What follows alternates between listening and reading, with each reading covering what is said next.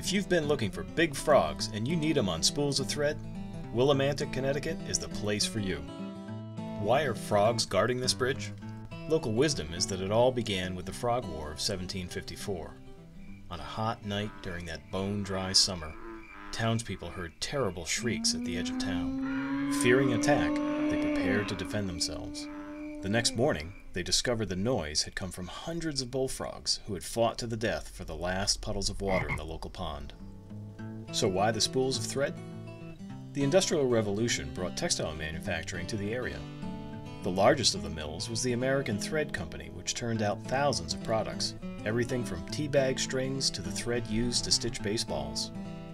You can find Willimantic and the Frog Bridge in eastern Connecticut, 70 miles southwest of Boston. The bridge is on the east end of Main Street, spans the Willimantic River, and connects routes 66 and 32. When you visit, check out a couple more cool sites. Follow the frogs to the Textile and Thread Museum, just across the street from the mill complex. It features photos and exhibits about the lives of the workers. The river trail alongside the mill makes a great place for a picnic. And if you're a bit more adventurous, head over to the southwest corner of the bridge and scramble down below to enjoy some cool shade next to the falls. Well, that's it from Willimantic. If you'd like to see more, check the websites below. See you next time.